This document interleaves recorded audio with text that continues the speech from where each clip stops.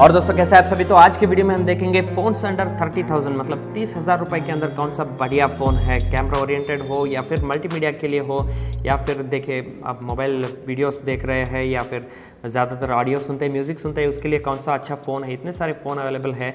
कुछ फ़ोन्स तो बढ़िया डिस्काउंट में मिल रहे हैं, बहुत सारा अच्छा डील्स भी चल रहा है। तो गेमिंग फ़ोन देख रहे हैं, उसमें हीट डिसिपेशन अच्छा होना चाहिए थ्रॉटल इश्यूज़ नहीं आना चाहिए स्नैपी परफॉर्मेंस होना चाहिए as well as battery backup भी अच्छा रहना चाहिए, है ना? तो ऐसे में कौन सा फ़ोन है तीस हज़ार रुपये के अंदर। तो वो वाला भी मैं बताने वाला हूँ तो वीडियो ज़रूर एंड तक देखें। मैं कुछ फ़ोन्स रिकमेंड करूँगा, उसमें से आप अपने अनुसार कोई भी फ़ोन को चॉइस कर सकते हैं। लेकिन वीडियो को स्टार्ट करने से पहले, अगर आप हमारे चैनल पर नए हैं तो लाइक करना ना भूलें शेयर कीजिए अपने फ्रेंड्स के साथ और सब्सक्राइब करके इस चैनल पर बने रहिए। तो देखते हैं कौन से कौन से फ़ोन है। Number one in the list Poco F five five G नया फ़ोन है पोको की तरफ़ से।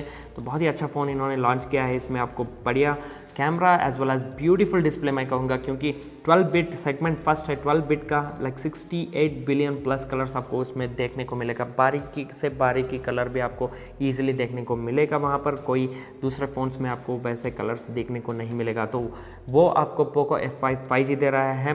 तो 6.67 इंचेस का एमोलेट डिस्प्ले भी है 120 ट्वेंटी हर्ट्ज रिफ्रेश रेट है। तो स्नैपड्रैगन 7 प्लस जेन 2 का चिपसेट इन्होंने यूज़ किया है फास्ट स्नैपी परफॉर्मेंस के लिए स्पेशली फॉर गेमिंग एंड इसमें आपको 64 मेगापिक्सल का प्राइमरी कैमरा देते हैं 16 मेगापिक्सल का सेल्फी कैमरा तो है ही। तो दोनों कैमरा भी अच्छा परफॉर्म करता है, ऐसा नहीं कि बहुत ही अच्छा परफॉर्म करता है ओके तो उसके लिए दूसरा फ़ोन है।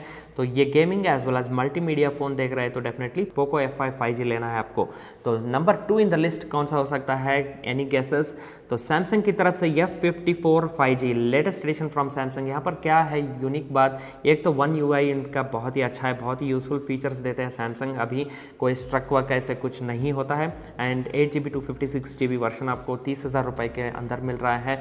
एंड सबसे बढ़िया चीज़ है कि कैमरा इसका। So one hundred and eight mega pixel का बहुत ही अच्छा नो शेक कैमरा मतलब इसमें ऑप्टिकल इमेज स्टेबलाइजेशन का भी यूज़ किया गया है। नाइटोग्राफी है। तो ढेर सारे इसमें आपको फीचर्स मिलेंगे। यूजफुल फीचर्स वैसे ही परफॉर्म भी करेगा। तो परफॉर्मेंस वाइज भी अच्छा है। इतना नहीं कि बहुत ही अच्छा मैं कह सकता हूँ, लेकिन अच्छा है। चल जाना चाहिए। 6.7 इंच का ब्यूटीफुल 120 ट्वेंटी सैमसंग का ही अपना 120 ट्वेंटी डिस्प्ले इसमें लगाया गया है। तो एक beautiful looking phone beautiful display and beautiful camera आप देख रहे हैं तो definitely Samsung F fifty four G आपको लेना है। तो number three in the list कौन सा हो सकता है? Any guesses again I Q double O neo seven करके है फाइव जी तो ये वाला देखिए वैल्यू फॉर मनी फ़ोन मैं कहूँगा। इसमें है जैसे कि आपको पता है वीवो ओप्पो का कज़िन है। आई क्यू डब्लो इसमें सारा चीज़ डाल देते हैं एक्सपेरिमेंट करने के लिए हो या किसी वजह के लिए हो, लेकिन आपको बहुत ही अच्छा मिलता है as a consumer Dimensity का 8200 लेटेस्ट फोर नैनोमीटर चिपसेट आपको इसमें दिखने को मिलेगा। बहुत ही अच्छा परफॉर्मेंस है। Along with that 64 megapixel optical image stabilization वाला कैमरा मिलता है एंड उसके साथ 120 ट्वेंटी फास्ट चार्जिंग भी आपको मिलता है and along with six point seven inches beautiful one twenty display AMOLED वो भी मिल रहा है। मतलब कि डिस्प्ले वाइज हो परफॉर्मेंस वाइज हो कैमरा रिलेटेड हो, सारा चीज़ आपको एक ही पैकेज एक ही फ़ोन में मिल जाता है। तो वैल्यू फॉर मनी देख रहे हैं, क्योंकि बहुत लोगों को I Q डब्लो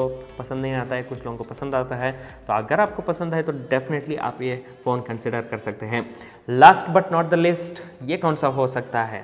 Realme eleven pro plus five G इसमें रियल मी में ढेर सारे ऑप्शन है, लेकिन आपको लेना है लेवन प्रो प्लस वाला लेना है। प्लस वाला लास्ट में ओके तो ये 5G फ़ोन सारे फोन्स 5G है एक्चुअली तो इसमें आपको मिलता है 200 मेगापिक्सल का ऑप्टिकल इमेज स्टेबलाइजेशन वाला कैमरा 200 मेगापिक्सल मतलब मेन कैमरा जो है बहुत ही बढ़िया है। Along with that 4x lossless zoom मिलता है। मतलब 4x आप जूम करके भी खींच सकते हैं। बहुत ही अच्छा फोटोस आता है। एंड सेल्फी कैमरा भी अच्छा है इसका Realme eleven pro plus का। एंड इसमें six point seven inch one twenty hertz display मिल ही जाता है। ट्वेल्व जीबी रैम है two fifty six GB storage के लिए है। ओवरऑल बढ़िया फ़ोन देख रहे हैं। रियल मी आपको कोई प्रॉब्लम नहीं है इनका। ऑपरेटिंग सिस्टम भी पसंद आता है तो डेफिनेटली 11 प्रो प्लस 5G ले सकते हैं। हाँ पर्सनल रिकमेंड पूछ रहे हैं, कौन सा फ़ोन लेना है सर इतने में मतलब मैं सजेस्ट करूँगा सैमसंग का F fifty four just for being safe बहुत ही अच्छा फीचर्स देते हैं, बहुत ही अच्छा कैमरा सेटअप है सॉफ्टवेयर एल्गोरिथम भी अच्छा है इनका। एंड सैमसंग आपको पसंद नहीं ऑल्टरनेट बताइए तो पोको एफ़ फाइव ले सकते हैं। ये दोनों भी अच्छा नहीं लगता है आपको तो बाकी दो मैं सजेस्ट किया हूँ ना, उनमें से आप लीजिएगा। तो होपफुली ये वीडियो आपको क्लियर कर दिया होगा कि तीस हज़ार रुपए के अंदर कौन सा अच्छा फ़ोन आपको लेना है। अगर यस तो hit that like button